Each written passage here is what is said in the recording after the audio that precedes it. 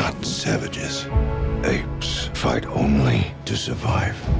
In the movie War for the Planet of the Apes, most of mankind is gone now thanks to a deadly virus strain.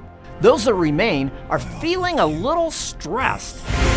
The irony is we created you. For while that engineered virus has leveled the world of man, and nature has been punishing us ever since. It's given an IQ boost to chimpanzees, gorillas, and orangutans. Those primates are man's intellectual equals now, capable of riding horses, shooting guns, and creating civilizations of their own. Their leader, for instance, an ape named Caesar, is a true hero. He's a complex individual tormented by the violence and unrest between apes and humans, but the truth is, no matter how Caesar applies himself to the ape versus mankind conflicts at hand, things are bound to become explosive.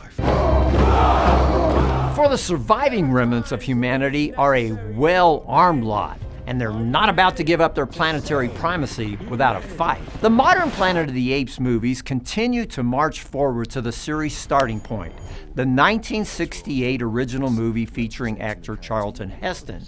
Like its predecessors, this pick has moments of warmth and self sacrifice, and it asks questions about what it really means to be human.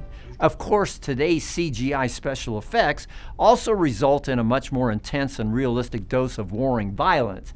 Add in some bad language, and I'll be giving this latest Planet of the Apes flick three sentient simians out of five for family friendliness.